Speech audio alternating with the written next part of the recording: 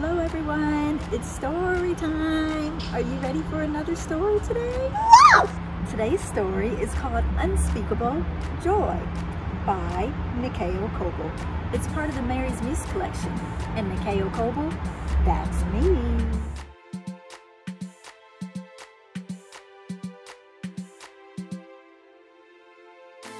Hey Muse, look at the cover of today's story. I see a little boy. I wonder who he is. And I see Muse. And he's playing with a football. This is also called a soccer ball in the United States. Hmm, I wonder what'll happen in today's story. I see the bird flying through a neighborhood and children riding bikes. And oh, there's a little boy.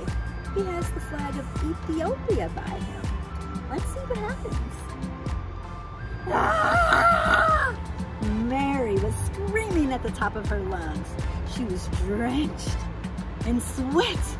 Her stomach felt like it was doing somersaults, and it seemed her heart would burst out of her chest on the next beat. A scruffy neighborhood dog ran wildly, barking behind her. The dog was so close Mary could feel its hot breath on her leg. Mary pedaled with all her might. The faster she pedaled, the more the dogs seemed to want to catch her. As she neared the end of the block, the dog's leaps changed into slow trots until the mutt lagged far behind. Mary glanced over her shoulder and noticed the pooch way down the street. She let out a manacle laugh. so long, sucker! You can't catch me! Better luck next time!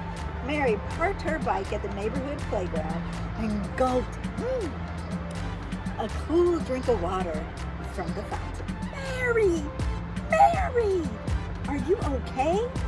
I heard your screaming and flew as fast as I could. Mary finished her drink and wiped her mouth with the back of her hand. And with a smug smile, she said, Oh, that was nothing, Muse. Just me having a little fun. Fun? inquired Muse. You sounded like you were terrified. Oh no, you've got it all wrong, Muse. I was having a great time. I ride down this block whenever I'm bored, and then I give a little whistle.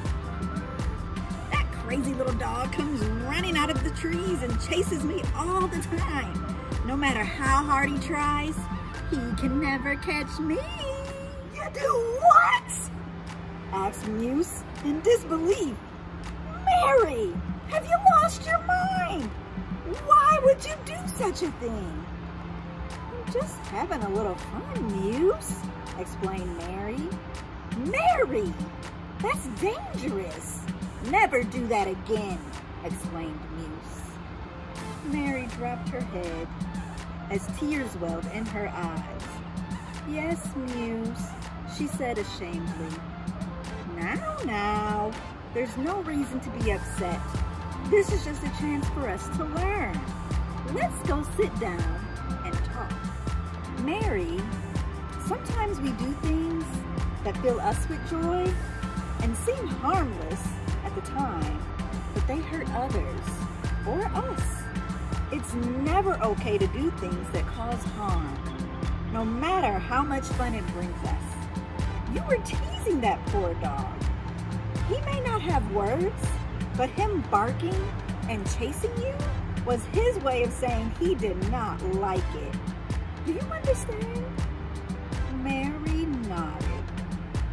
I'd like to share a story with you about a child I met once in Ethiopia who also learned this lesson. Would you like to hear it? Absolutely, said Mary. Very well, replied Muse. This is the story of a boy named Ron. Ron grew up in Addis Ababa with his father, mother, and little brother Tafari. Ron and Tafari were best friends and loved to have fun together. They would laugh while walking to school. They would play ball in the yard. Ron would even tote his brother around on his back while he laughed uncontrollably. His brother's smile was brighter than the morning sun.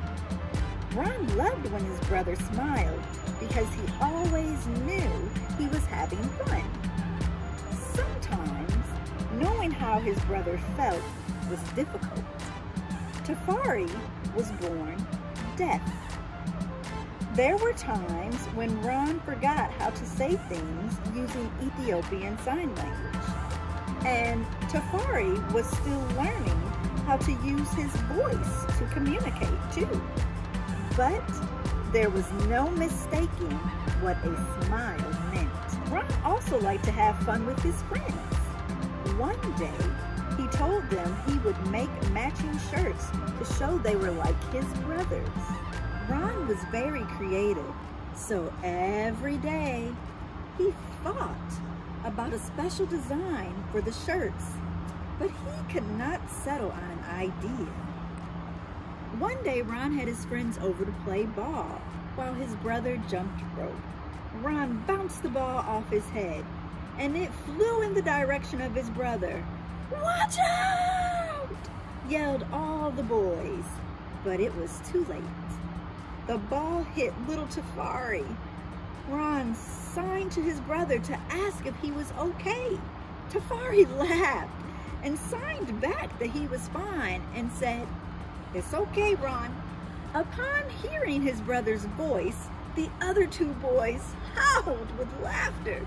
Geez, Ron, you must have snapped the sense out of him. He sounds like a robot, said one boy. Another pointed at his brother and said, he looks like a robot too. Look at that funny thing by his ear. The boys began walking and talking like robots while imitating Tafari's voice. Tafari dropped his head and quietly went inside the house. Ron felt a pit in his stomach when he saw his brother's expression. Man, what's up with that brother of yours? asked one boy. Give me a second, guys. Let me go check on him, replied Ron. When Ron entered the house, his father was waiting for him. Ron, what just happened? I saw everyone laughing, but Tafari came in very sad. We were all just having a little bit of fun, Dad. The guys made a few jokes, and then Tafari got sad and came in. Oh? his father said with a raised brow. What kind of jokes did they make? Ron put his head down and had to say no more. His father already knew. Ron, your brother may not communicate in the same way as you and your friends, but he has feelings too. Sometimes in life, it's up to those who have a strong voice to speak up for those who may not be heard. Do you understand? Ron nodded. Good. Now I'm sure you'll think of a way to use your voice to fix this, right? Yes, Abba. Ron sat in the room and contemplated what he should do. And then he had an idea.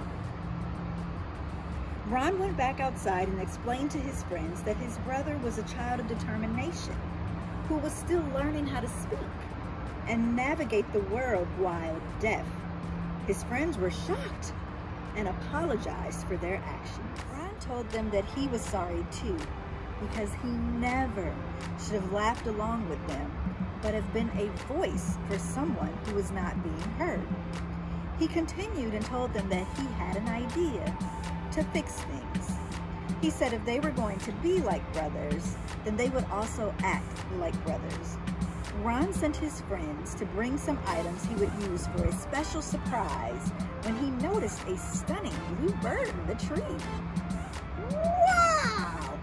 Who are you and what are you doing there? Ron stared at the bird in awe. My name is. I was just passing your home on the way back to my home and decided to rest in your tree.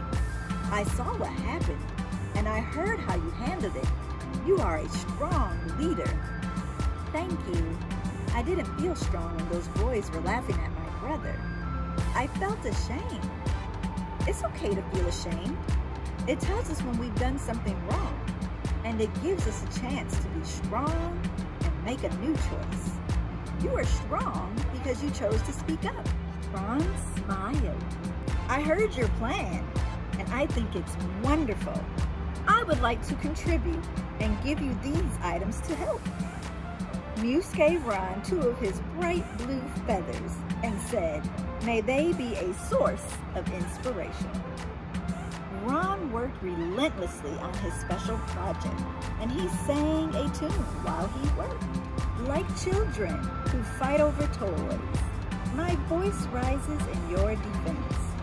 Never again will I be silent and destroy your confidence. Smile brighter than the morning sun. Please forgive me for all I've done.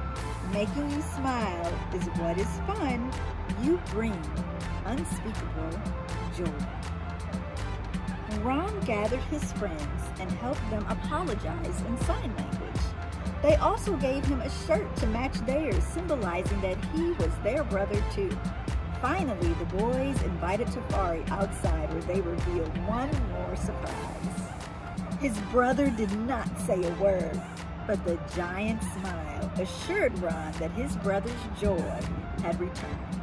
And Ron felt a great happiness too. The experience taught Ron and his brother the important lesson. When we bring joy to others, we receive an unspeakable joy too. What a nice story, said Mary as she envisioned Tafari's smile when he saw the big surprise. I'm going to go home now so I can write in my journal about what I learned today. I think that's a great idea, said Muse. As Mary prepared to leave the park, she found a boy walking his dog. She asked the boy if she could pet him, and she petted the dog. It wagged its tail and rolled over for Mary to rub its belly. As it did, Mary smiled and said, My giving you joy has brought me great joy. Now this is the kind of fun I should be having. Mary rushed home to write about what she learned in her journal. Lesson 3. Actions that hurt others should not be fun to me. Joy is helping others smile. And that's the end. We hope you enjoyed today's story. Be sure to check it out on Amazon. You can find it in Kindle and printed formats. We'll see you later. Bye-bye.